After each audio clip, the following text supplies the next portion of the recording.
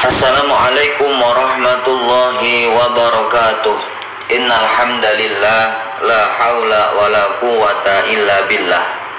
Wassalatu wassalamu ala ashrafil anbiya wal mursalin wa ala alihi wa sahbihi ajma'in amma ba'du. Tayyib kaifahalukum ya ikhwani? Gimana kabarnya teman-teman semua? Semoga dalam lindungan Allah subhanahu wa ta'ala di dalam wabah yang sedang melanda negeri kita tercinta ini. Baik, pada kesempatan kali ini Mister akan melafalkan ayat 4 yang di mana ini merupakan sambungan dari ayat 2 dan ayat 3 surat Al-Mumtahana yang sudah dihafalkan oleh Miss Lulu di pertemuan sebelumnya. Oke teman-teman, yuk disimak sama-sama surat Al-Mumtahana ayat 4. Let's check this out. Toib Izinkan Mister membacakan surat Al-Mumtahana ayat 4 Mohon disimak dengan saksama. A'udzu billahi minasyaitonir rajim Bismillahirrahmanirrahim. Qad kanat لكم أسوة حسنة في إبراهيم والذين معه. إذ قالوا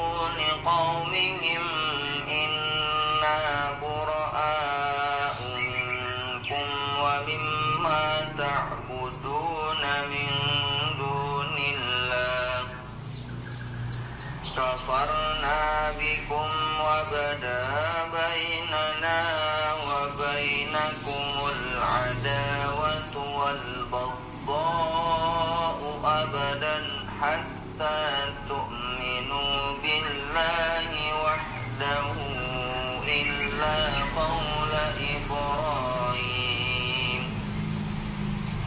إلا قول إبراهيم لأبيه لأستغفرن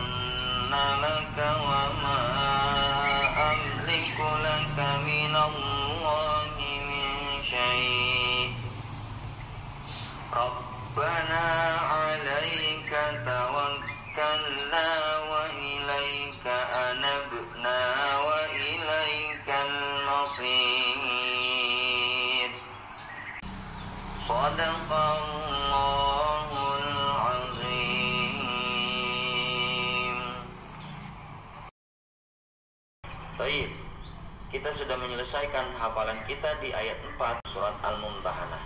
Gimana teman-teman? Mudah kan?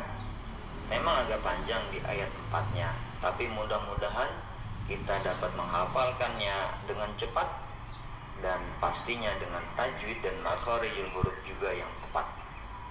Oke, sekian dari Mister. Kita tutup pertemuan kali ini dengan sama-sama membaca hamdalah dan kafaratul majlis. Alhamdulillahi Rabbil Alamin. Subhanaka Allahumma wa bihamdika Ashhadu an la ilaha illa anta Astaghfiruka wa atubu ilaik.